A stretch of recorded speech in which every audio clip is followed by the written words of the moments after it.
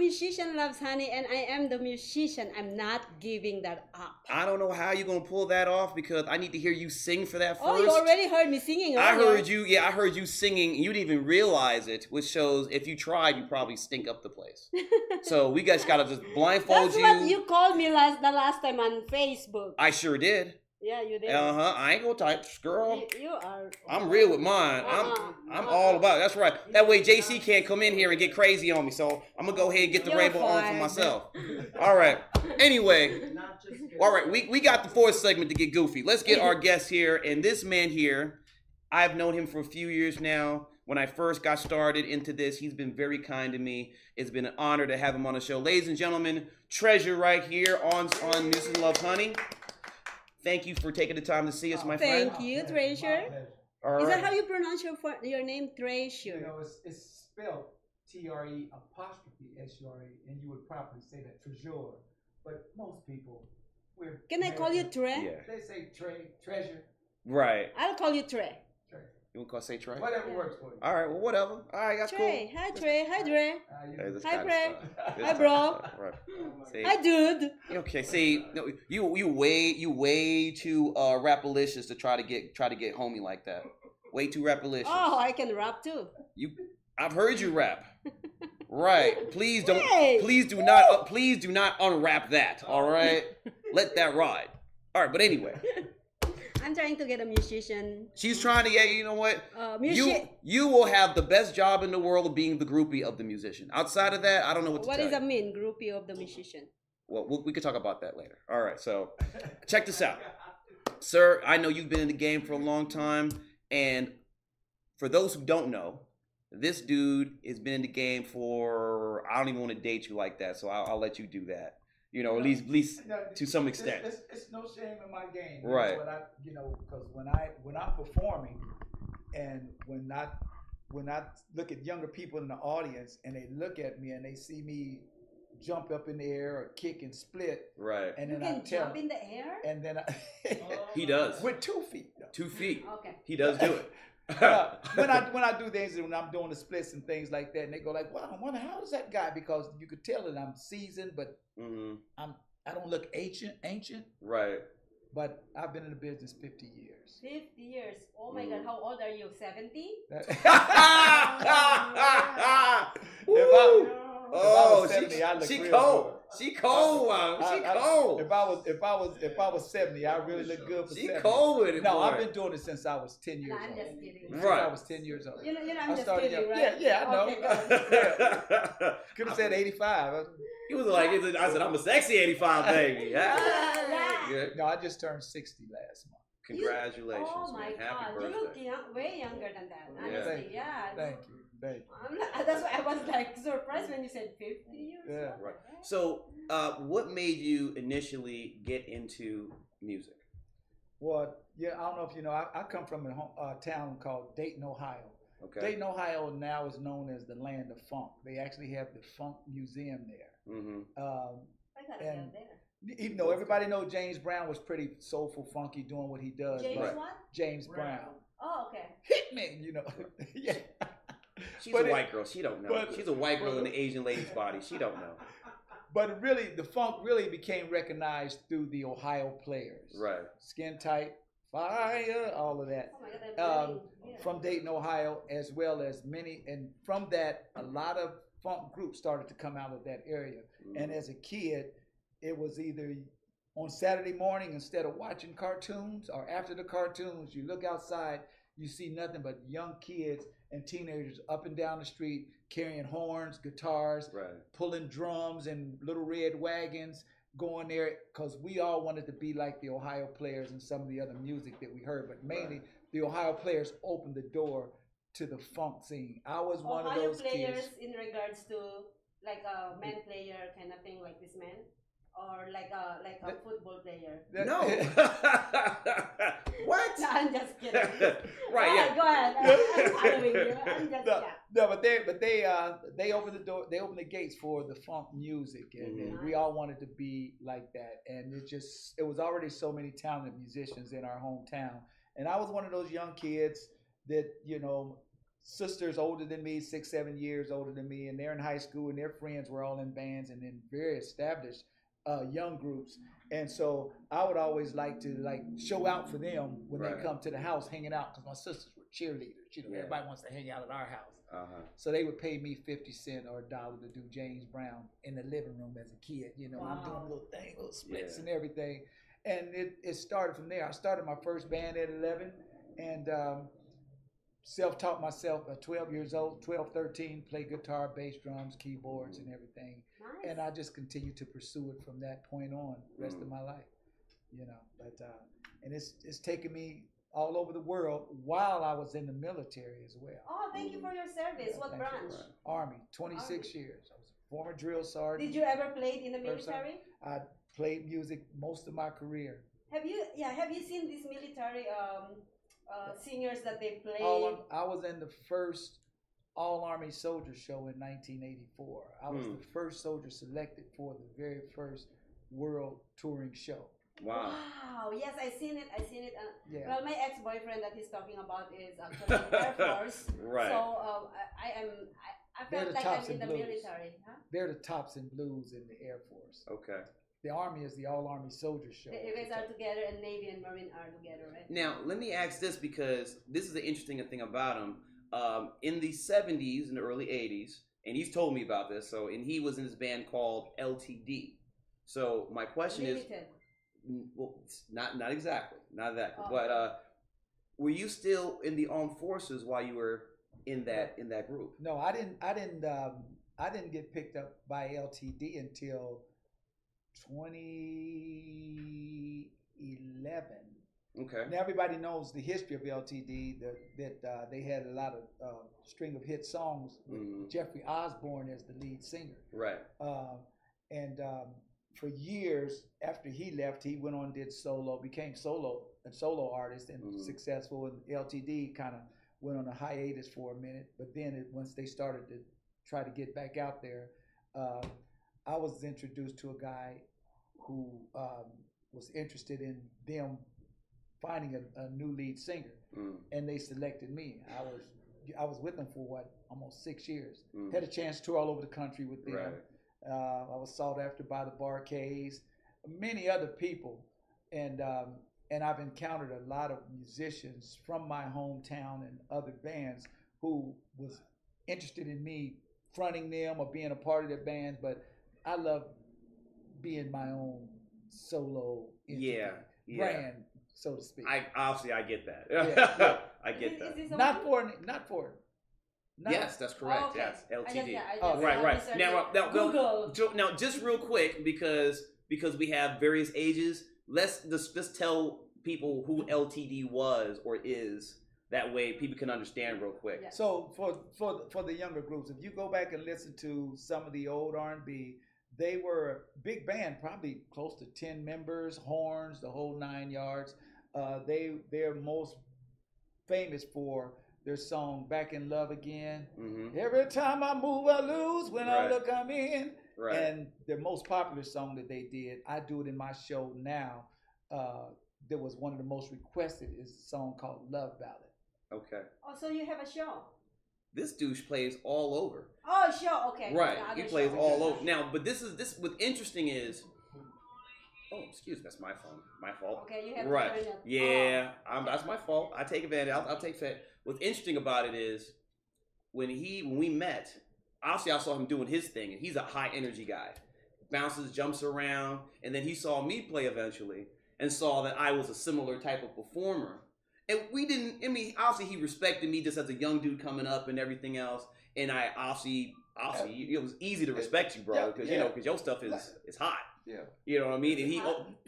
him as a performer is hot. high energy. Oh, okay. So he he I thought you were right. about hot. what I mean is well yeah, but his energy is high, his band is tight, he puts on a great show, he stays in his lane because he knows what he's comfortable with, and he kills it every time he plays. But what I loved about him more than anything else is that every time I talked to him, he always made time to talk. He always had time to give me advice. He had time to keep me up and you know uh, motivate me, things like that. And it's always been very helpful. So it's it's very cool because now when they talk about high energy people in the R and B or just performance period, I'm in the same conversation with this, which is which is humbling to say the least. You know, I always tell tell everybody it's enough for everybody, and it's really about you um, respecting hmm the music, knowing who you are, Right, own your craft, right, and be strong, steady, and consistent. right. Anybody can have a good day. hmm You said something about me that, that, that you're absolutely right about, about the consistency. That's what it's about. Right, Anybody can have a good day. right. What's your batting average? hmm Is the way I look at it. That's right. You know, if you're gonna That- that's have a a- good yeah, that's a hit good and then the rest of the time, rest of the season you suck, it means nothing. Exactly. if you're steady, your average stays high, peaked. hmm You know, you're ten and you're nine, you're nine and a half, then you're eight and a half, then you're nine, and you're ten. You stay up there. When you drop down to twos and threes, you might want to reassess yourself and, and yeah. look at applying for that job at Walmart. Something like yeah, that. well, Yeah. that's come down to our topic, which is goals. You know, Right. with, with goals. Uh, where uh, we are not like uh, directly talking about our topic goals, but whatever we're ta- uh, we're talking about our um, our journey in life, journey and Right. our career is part of the goals. Okay. Well, Yeah. considering a lot of stuff that you've accomplished and where you're at presently, obviously you've accomplished a lot. So now, when you assess and make new goals, what are the things that you look for? You know, one of the things I, I have to, I can't ignore the music because it's a gift that God gave me. So it's always going to be a part of it. Mm. So I call the music my ministry, Okay. you know, and it's something I'm able to share with my kids and grandkids no matter what. hmm And so I just pray that God allow me to always be that role model, you know, and and and sharing and sharing everything I do musically, which transcends to who I really am. Right. You know, we, a lot of people don't even know who they are or what they're meant to be or do. Right. I do. And I could just share that because there's always a positive story in it of um, consistency, persistence, Right. passion, hmm create creativeness, and I, I've, I've lived it all my life. So I, I don't have time to be jealous or envious or hate on someone because I own what I am. Right. You know, and that's what I say. Just you don't- don't worry about. You can admire the people. You can admire me. I can admire you. But the thing is, is you take that and you be the best you that you could be. Same thing I share with my band. Right. But my goals in life is all is to continue to do what I'm doing as long as God will allow me. Make good original music, hmm share it with uh, with with people, and really with people younger than me, with the Right. kids. I have a granddaughter who plays uh, piano, man, and she's incredible. And it, watching those things is what the things that choke you up. Yeah. You know, I'm sitting at the uh, at the piano with her a few months back, and she's playing. She's 12 years old, just turned Mhm. 12, and she's playing Stevie Wonder Nice. At the piano for me. And Right. then she's playing Usher, and I'm singing with her. Right. You know That's those beautiful. things, Does oh man. You does just That's just beautiful. Does yeah. she lives with you or? in- No, she lives. She lives in Colorado. Uh, Mhm. with You my know, uh, treasure is. Uh, I love the uh, the things that you said, and um, well, I am putting together in one word whatever you're saying is passion. Yeah, passion absolutely. in your heart. Yeah. That's it. That's Mhm. that's it. Starts from there. I tell the band that don't worry about the money. I'm not saying don't worry about the The money. money, yeah. It- you know when you you if- that. you got to be feel comfortable where you're working, who you're working with. I will never cheat a musician Mhm. because I know what it, it is to be a musician. Yeah. You know what I'm saying? I've given up money and, and done shows and not getting paid, but made sure my musicians got paid. Right. I've done that several times because of the passion. But you know what? God continues to reward me. hmm I continue to work. I continue to make to get gigs, some paid better than others, Right. and and get recognized. You just got to take. Don't think every blessing is just something that that that the whole world has to see. Right. You have to know it hmm that when you've been blessed. I'm gonna give you a quick little quick story, real quick. I was in the army for 26 years, traveled all over the world. I was gung ho, wanted to go airborne. They lost the paperwork. I was a drill sergeant three years. I retired first sergeant. Did all these incredible things. Was ready to go to war, fight for my country. I came on. I came on the manifest to go to combat about six times.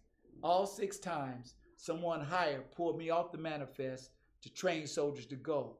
Therefore, after 26 years, I never had to go to combat.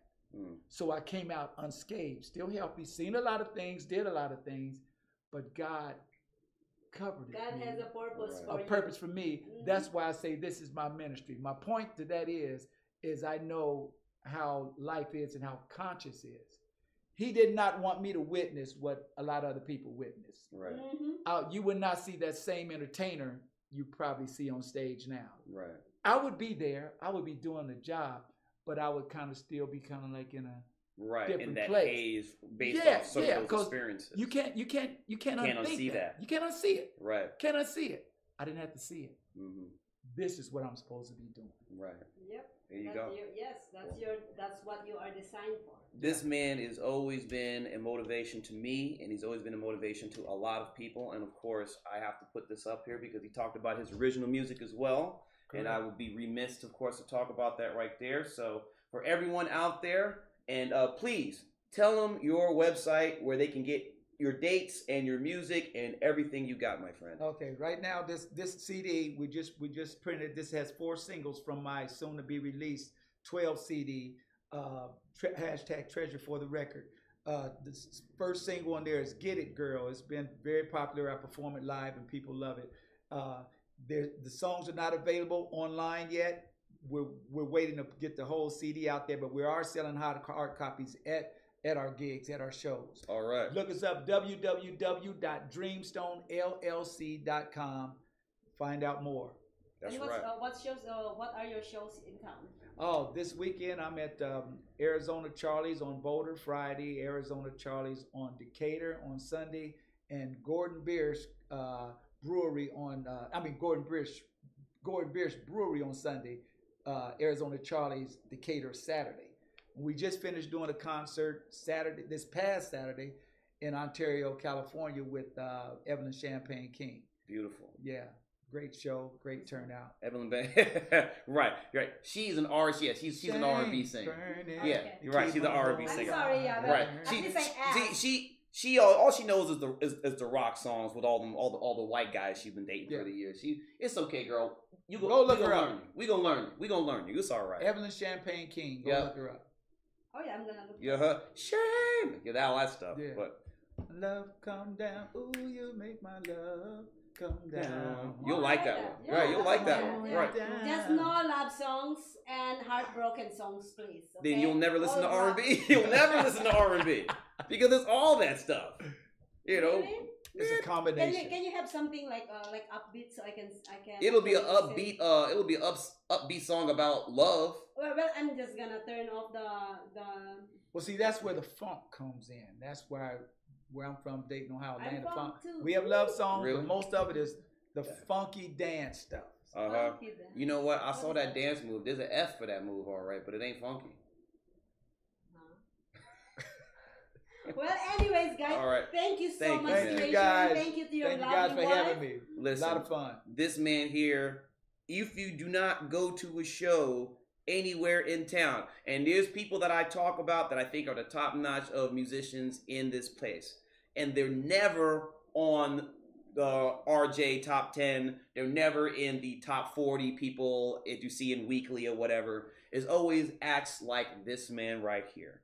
You gotta check this dude out. This is a Las Vegas local that gives 110% every time he goes out. And obviously, I do the same, which is why I love you so much, bro. Likewise, right. man. So one of these days, I love you too, Tre'Sure. right? One of these days, we got to do a gig together and now. watch Sue. I'm sure you'll sweat more than I will, but we'll take turns of who can sweat more on stage. Get a workout. Right? You know how it's gonna be, bro. You know how it's gonna be. But ladies and gentlemen, Tre'Sure, thank you again for having yourselves with us, man. Thank Taking the guys for- time. thank Thank you guys you for having me. so much. And of course, I want to give a shout out to the the lady behind the man, the myth, the legend, behind right there. She is the she is the honey behind the musician. She just is not the uh, the phonegetic person, at least not on on the show. But she'll do it out there on social media. So if you got her stuff on there on Facebook, you'll see her there. All she right. Is, she is the CEO of Dreamstone. Yes, she is. Yes, I'm- she is. I'm just the president. There you go. I heard All that. right. Well, uh, this is the end of our third segment. Thank you for Thank you our guys. second God segment. Right. Thank right. you for gracing Thank our you. show. And we uh up next. Yep, is Mr. Les Warner, who is a famous, infamous drummer, and we're going to get him and talk about what he's on right uh, coming up soon, coming up next. So this is Musician Loves Honey. Thank you very much, y'all. We hope you're having a good time, and we hope you're having a good time listening and watch us be ooh, ooh, a little crazy. So we're gonna Yes. pay some bills. We'll be right back. Okay.